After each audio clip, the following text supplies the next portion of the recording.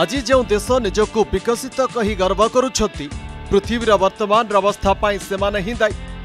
जो देश ऊनविंश विंश शताब्दी में विकास ना शिपर सुनामी आनी जो देशर फैक्ट्री बाहरी विषाक्त धूआ पृथ्वी को उत्तप्त करदे से ही देश एवं जलवायु पर नहीं प्रवचन देहे वर्ष तलु शिल्प विस्तार को आधार कर निजर विकास दुनिया को ଦୁଇ ହଜାର ପଚାଶ ସୁଦ୍ଧା ନେଟ୍ ଜିରୋର ଫାଇଦା ବୁଝାଉଛନ୍ତି ଆଉ ବିକଶିତ ଦେଶର ଶ୍ରେଣୀରେ ଛିଡ଼ା ହେବାର ପାଳି ଯେତେବେଳେ ଭାରତ ପରି ବିକାଶଶୀଳ ଦେଶର ଆସୁଛି ଏହି ଧନୀ ଦେଶଗୁଡ଼ିକର ଜ୍ଞାନ ଚକ୍ଷୁ ଖୋଲିଯାଇଛି ଏହି ଦେଶ ଏବେ ପୃଥିବୀର ଉତ୍ତାପ ବୃଦ୍ଧିକୁ ନେଇ ଚିନ୍ତା ପ୍ରକଟ କରୁଛନ୍ତି ତେବେ Glasgow world leader summit of COP twenty ସିକ୍ସରେ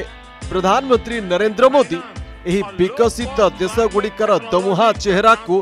धरा पकड़ निज भाषण भारत की अपेक्षा है कि विकसित देश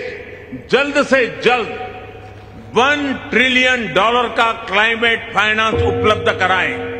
आज आवश्यकता है कि जैसे हम क्लाइमेट मिटिगेशन में हुई प्रगति को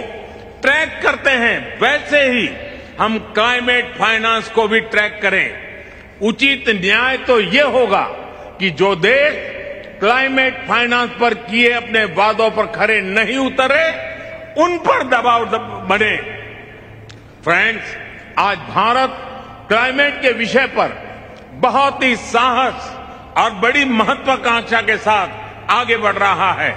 भारत अन्य सभी विकासशील देशों की पीड़ा भी समझता है उन्हें साझा करता है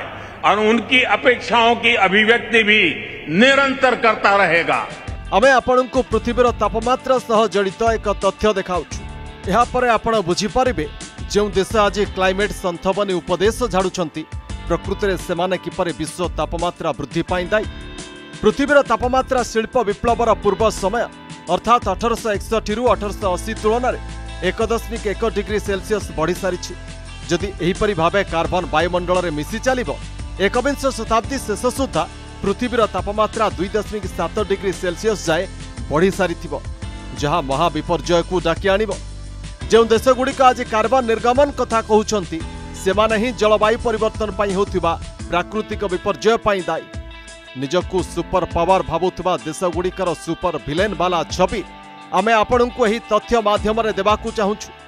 ବର୍ତ୍ତମାନ ପୃଥିବୀର ମୋଟ କାର୍ବନ ନିର୍ଗମନରେ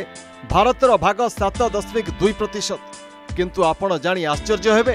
ନିଜକୁ ସୁପର ପାୱାର କହୁଥିବା ଆମେରିକାର ମୋଟ କାର୍ବନ ବିସର୍ଜନରେ ଯୋଗଦାନ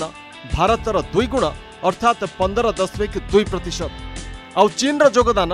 ଭାରତର ପ୍ରାୟ ଚାରି ଗୁଣ ଅର୍ଥାତ୍ ସତେଇଶ ଦଶମିକ ଆଠ ପ୍ରତିଶତ କାର୍ବନ ନିର୍ଗମନ ଆଜିର ସମସ୍ୟା ନୁହେଁ ଯାହାକୁ ନେଇ ବିକଶିତ ଦେଶଗୁଡ଼ିକ ଏତେ ଚିନ୍ତିତ ପ୍ରକୃତରେ ଏମାନେ ସେହି ଦେଶ ଯେଉଁମାନଙ୍କ ଯୋଗୁଁ ବିଶ୍ୱ ଜଳବାୟୁ ବିପଦର ସାମ୍ନା କରୁଛି ଅଠରଶହ ପଚାଶରୁ ବର୍ତ୍ତମାନ ସୁଦ୍ଧା ବିଶ୍ୱବ୍ୟାପୀ ହୋଇଥିବା କାର୍ବନ ନିର୍ଗମନରେ ଆମେରିକାର ସବୁଠୁ ଅଧିକ କୋଡ଼ିଏ ପ୍ରତିଶତ ଯୋଗଦାନ ରହିଛି ଏହାପରେ ନମ୍ବର ଦୁଇରେ ରହିଛି ଚୀନ ଯାହାର ଯୋଗଦାନ ଏଗାର ପ୍ରତିଶତ ତା ପଛକୁ ସାତ ପ୍ରତିଶତ ଯୋଗଦାନ ସହ ରୁଷ ତିନି ନମ୍ବର ସ୍ଥାନରେ ରହିଛି ବ୍ରାଜିଲର ପାଞ୍ଚ ପ୍ରତିଶତ ଓ ଇଣ୍ଡୋନେସିଆର ଚାରି ପ୍ରତିଶତ ଯୋଗଦାନ ବିଶ୍ୱ କାର୍ବନ ନିର୍ଗମନରେ ରହିଛି ବିଂଶ ଶତାବ୍ଦୀରେ ଶିଳ୍ପ ବିପ୍ଳବ ଜରିଆରେ ସାରା ଦୁନିଆକୁ ନିଜ ଇସାରାରେ ନଚାଇଥିବା ଏହି ଦେଶ ସମୂହ ଗ୍ରୀନ୍ ହାଉସ୍ ଗ୍ୟାସ୍ ନିର୍ଗମନ ମାମଲାରେ ସବୁଠୁ ଆଗରେ ରହିଛନ୍ତି ଉଣେଇଶହ ନବେରୁ ଦୁଇହଜାର ମସିହା କାର୍ବନ ନିର୍ଗମନ ମାମଲାରେ ଆଗୁଆ ଦେଶଗୁଡ଼ିକ କଥା ଯଦି ବିଚାର କରାଯାଏ ଆମେରିକା ଏକ ନମ୍ବର ସ୍ଥାନରେ ଥିଲାବେଳେ ଦ୍ୱିତୀୟରେ ଥିଲେ ୟୁରୋପୀୟ ୟୁନିୟନ୍ ଦେଶ ସମୂହ ତୃତୀୟ ସ୍ଥାନରେ ଚୀନ୍ ଚତୁର୍ଥରେ ରୁଷ ଏବଂ ପଞ୍ଚମ ସ୍ଥାନରେ ଥିଲା ବ୍ରାଜିଲ ଆଉ ଦୁଇହଜାର ଚଉଦ ବେଳକୁ ଚୀନ୍ ସମସ୍ତଙ୍କୁ କାଟି କାର୍ବନ ନିର୍ଗମନରେ ଏକ ନମ୍ବର ସ୍ଥାନକୁ ଆସିଯାଇଥିଲା द्वितीय थिला अमेरिका तृतीय रे थिले युरोपियन युनियन देश समूह अर्थात्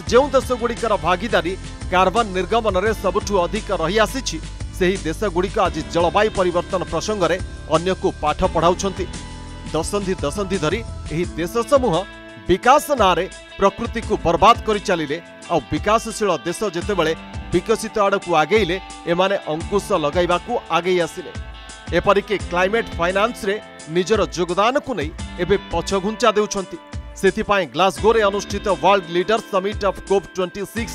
से दायित्व बोधर पाठ पढ़ावा पड़ा प्रधानमंत्री मोदी को bureau report Argus news technology का ट्रांसफर और महत्वपूर्ण हो जाता है